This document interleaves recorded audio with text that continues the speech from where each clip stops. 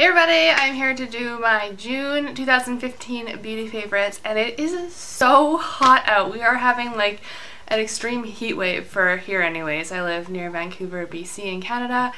It's so hot. I have the air conditioner beside me and I just turned it off because it's too darn loud to film with it on and I can already feel the room getting really, really hot. So I'm going to try and run through this really quickly. Uh, the first favorite of mine is Supergoop which I've mentioned before. By far my favorite BB or CC cream. Kids are playing outside if you hear them by the way. This is just everything in one. It's like skincare, it's got SPF, it's got really good coverage, it's not too shiny. I probably look shiny now because it's really hot in here, but it's amazing and it's in a darker shade so I haven't been able to wear it till now, so now I can wear it and I almost need a darker one because I don't know if it's the red lips or what, but I'm getting more of a tan, so I almost need a darker one. But I love that, highly recommend it. The next is a conditioner. I hauled this a while back in a Vitacost haul, but it's the Alba Botanica Hawaiian Conditioner. Oh my goodness, I love it. I already knew that I love the hair mask in this line, so I want to try out the conditioner. It's so good. I haven't found a conditioner this good in a very long time. I've already actually repurchased it, even though this one's like maybe they're finished, I know that I want to use it again. And I don't use the condition the shampoo version with it, I just use the conditioner along with other shampoos that I'm using up and it's fantastic. It leaves your hair so moisturized and soft but still lightweight and manageable. It's wonderful. The next is the Urban Decay All Nighter Makeup Setting Spray, which I don't find need for much during the fall, winter, spring, but in the summer right now, I've been out doing lots of things and out all day long. We're out to the lake.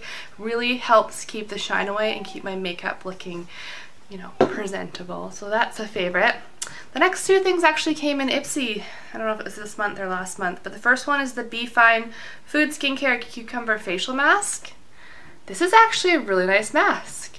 Um, you put on your face and it dries and you feel like it's pulling stuff out of your face and I don't know, I just feel like it's really detoxifying. You put on a thin layer and it still works really well and I find it comes off my face nice. I don't have to scrub at it, so I think that's why I like it. And the other little sample guy is this Smashbox Photo Finish Foundation Primer.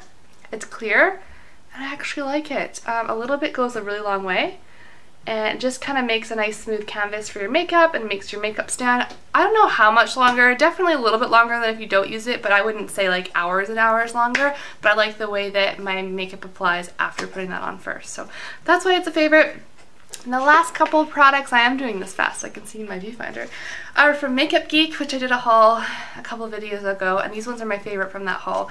The first is the blush, which I actually didn't think I would like that much because it had more glitter than I wanted, but it's in the color Romance and it's a peachy pink with gold shimmer and the shimmer doesn't come off too bad on your face. There it is there. Ooh, such a pretty color. So I've been wearing it a lot and it looks good with a tan too. So I've been loving that. And then my three favorite eyeshadows are Grandstand. You know what? I'm just going to swatch these for you. I don't want to show you them that way. Grandstand is like a coppery um, foiled eyeshadow. And it looks like that.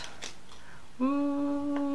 So pretty. That one's definitely a favorite. The other foiled eyeshadow, that's probably my favorite eyeshadow of life, which is a really big statement. Sorry, I'm swatching it here on my hand, is called In the Spotlight. And that's above it there. Oh, it's so pretty. These foiled eyeshadows are gorgeous. And then my last favorite eyeshadow is a matte one. It's called, called Barcelona Beach. And it's like a cool toned, well not too cool, but it's a matte brown and it's almost a bit taupey and it's so perfect for in the crease.